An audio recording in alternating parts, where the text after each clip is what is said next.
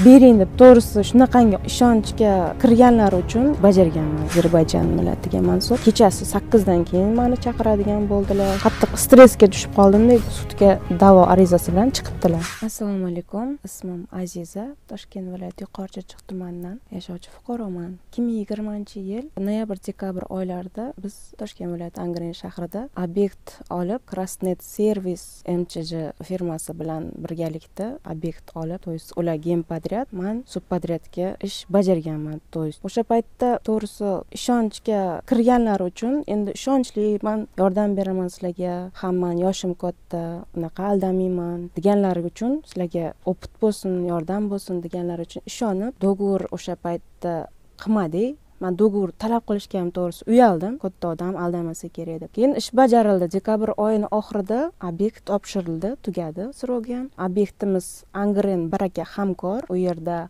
gazoprovod elektroснабжение va avtomobil yo'lagi remonti bajardik. Ya'ni u yerdagi ishlarni asosan o'sha ismlari babayev feruz ozarbayjon millatiga mansub. Ularni topshirig'i buyruqlari bilan biz ish bajardik. То есть ular o'zlari stroymaterialni o'zini firmalariga sotib oladi. Mana buni mana bu joyga qo'y. Mana buni bunaqasiga ishlat ular nima aytsalar faqat biz bajaruvchi bo'ldik. U paytda qish payti bo'lganligi uchun endi betonlar ham masalan rastvorlar quydirganmiz sal muammoroq bo'ldi. Ishchilar ham endi qiynalib tezroq endi maksimal darajada bajarib berdik срокgacha ish bajarildi. Keyin yanvar oyidan boshlab kelishilgan summamizni общий summadan biza olishimiz kerak bo'ldi sakson foizini ular yigirma foizini. То есть endi aniq примерно summasi bir yuz ellik millioncha. So'rab boshladim to'g'risi u paytgacha ozgina ozgina tashladilar aytgan summani общий hozirgi kungacha ellik uch million pul tashladilarda примерно undan yigirma uch millioni davlat soliq nimasiga налоги ketdi. Ammo kelishilgan summani qolganini bermadilar. Har doim boraman berasizmi deganda uning chala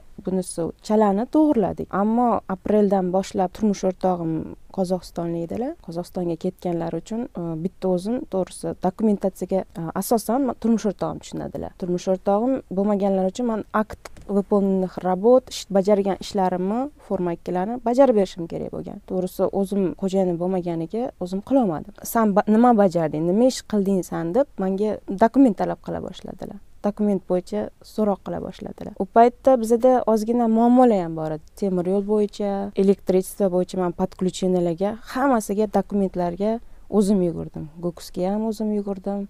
Mana bu заказчикlarni nimasi dokument сличительный bo'lsin bajarilgan ishlar hamma nimaiki hujjat bo'lsa o'zim yugurdim. Подключениеda ham energonadzor yoqish hamma dokumentatsiyada o'zim yugurdim. Lekin ularni asosan firmasi to'lov qildilar. Электричествоga elektroснабжение gazoprovod o'tkazilgan ular litsenziyasi bor firmalar ishlagani uchun ular o'zlarini firmalaridan to'lagan. Man faqat e, chaladigan joylari o'ttiz kuba yetmaganligi uchun obyektda bajarilgan ish o'ttiz kuba yetmayapti deb ular специально специалистlar kelib tekshirmadi o'zlarini prorablari tekshirdi o'ttiz kuba yetmayapti dedilar. Endi erta sal qiyshuv joylari bo'ladi o'nqir cho'nqir joylari bo'lishi mumkinda. O'shani hisobiga o'ttiz kuba lekin baribir kam deb chiqishdi. Keyin man man uni chala bo'lgani uchun yana man qarzga olib o'zimni firmamga то есть mani firmam nomad development ikki ming yigirmanchi o'shani nomiga qarzdor qilib o'ttiz kuba beton rasvor olib kelib quydirtirdim ishchilarni olib kelib ishlatdim o'zimni yonimdan. Lekin hozirgi kungacha mana peniyasi ham oshib ketgan to'lanmagan. Pulni so'raganimda уже qocha boshladilar. Keyin ilojim qolmadi prokuraturaga ariza bilan chiqdim. Mana shunaqa pulimni ololmayapman deb. Lekin yana shunda ham mana shuncha paytda beraman dedilar lekin bermadilar. U orada man onamlar e, endi og'ir sal xasta bo'lib qoldilar rak bo'lib qoldilar. O'shalarni yonlaridaman har doim yonlarida bo'lib bormadim ofisga ham bormadim. Oradan oyimlar больницаga yotganlaridan keyin endi ximioterapiya olyaptilar hozirgi kungacha pul kerak bo'lib qoldi orada uzilish bo'lib qoldi. Orada pul kerak paytda pul bering хотя бы bir million bir yarim million bering degan paytimda bermadi. Baqirib telefonga baqiradi. Ofisga именно kechasi sakkizdan keyin mani chaqiradigan bo'ldilar.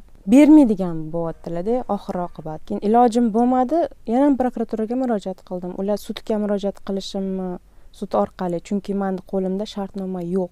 Bu eng katta mani minusim ishonganligim ishonch orqali Э, o'zimni aybim u tomonlama. Mani уже telefonlarimni ko'tarmaydilar. Oxiri to'g'risi shunaqangi og'ir vaziyatga tushib qoldim. Endi mablag' pul kerakligi uchun bering deb to'g'risi shunaqangi oyimlar og'ir bo'lib yuraklari ham отказ berishdi. Operatsiya qilmaymiz. Yuraklari og'ir давлениялari baland deb bunaqada biz operatsiya ham qilolmaymiz deganlariga man уже bitta o'zim shunaqangi qattiq stressga tushib qoldimda pulni berasizmi bermaysizmi operatsiyagacha topib bermasangiz to'g'risi man keyin sizni ayab o'tirmayman deb sal to'g'risi haqorat qilib yubordim. Asab ustida bu ata emas tan olaman to'g'ri noto'g'ri qildim. Keyin olibdilarda uchastkovoyga ustimdan yozibdilar. To'g'ri tan olaman. Haqorat qilib yubordim asab ustida. Lekin u nima uchun? Man o'zimni haqqimni ishlab topgan halol pulimku. Ishlab turib qish sovug'ida xo'jayinimlar bilan bor edilar u paytda. Shundoq ishlab turib olmaganingizdan keyin u alam qiladi тем более mana bunaqa sharoitda ko'rib turibdilar. Man aytganman feruza aka man onam bilan mana shunaqa analizlarini ham hamma dokumentlarini ham mana har yigirma bir kunda ximiya oladilar. Hozir endi ikki oy qolib ketdilar. Yuraklari yaxshi chiqmadilar. Yaxshi chiqmaganligi uchun отказ bo'lib hozir endi yana og'irlashib ketyaptilarda. O'shaning uchun majbur bo'ldim haqorat qildim asab ustida. Endi u narsa hozirgi kunda bular manga qarshi sudga iqtisodiy sudga toshkent shahriga murojaat qilibdilar. Mana shu odam mandan ellik uch million olgan lekin asosi yo'q dokumenti yo'q pul talab qilyapti deb mani sudga da'vo arizasi bilan chiqibdilar. Hozir bilmayman to'g'risi bitta o'zim judayam og'ir ahvoldaman og'ir sharoitga tushib qoldim. Na bir advokat olaymi yurist olaymi endi unga ham mablag'im unaqa yetarli emasku. Endi o'shaning uchun sizlardan iltimosim avvalambor yurtboshimiz shavkat mirziyoyevga davlat tashkiloti organlariga va prokuratura va davlat xavfsizligi xodimlariga iltimosim shuki ijobiy hal qilib iltimos qilaman.